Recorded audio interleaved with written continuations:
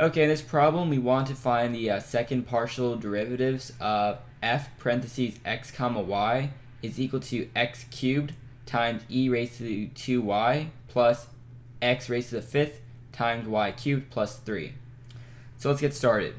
So we can say f parentheses x comma y is defined as what we have. So we have x cubed times e raised to uh, 2y plus x raised to the fifth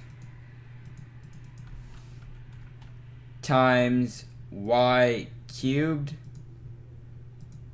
uh, plus 3. So we have x cubed times e raised to 2y plus x fifth times y cubed plus 3. So that's identical. And now we first get the uh, partial derivative in terms of x. So we can say fx is defined as, we hit menu calculus derivative in terms of x. So we have f parentheses x comma y. And so this is the uh, first partial derivative in terms of x. But we want to get the uh, second partial derivative. So we want fxx and fxy. And so we will need to take the derivative of this.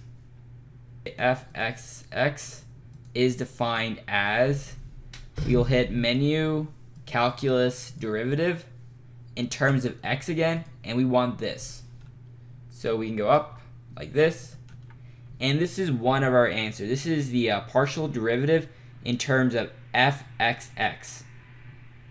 And we can also get fxy. So we can say fxy is defined as we had menu, calculus, derivative. This time we want in terms of y. We can go up to this, simply hit enter, and this is one of our second answers. So this is fxy. But we need to also get fyy. So let's do that we can say f y so we can say defined as we hit menu calculus derivative in terms of y and we go back to our very original and that was f parentheses x comma y. So we can say f parentheses x comma y.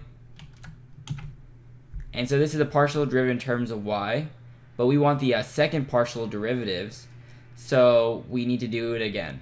So we can say fyy is defined as, we hit menu calculus derivative in terms of y, and we want this. Hit enter. And so this is a second partial derivative in terms of y. And that's it. So we got three answers. So we got fxx, the second partial derivative. This is one answer. This is fxy, second answer. And this is fyy, the third answer.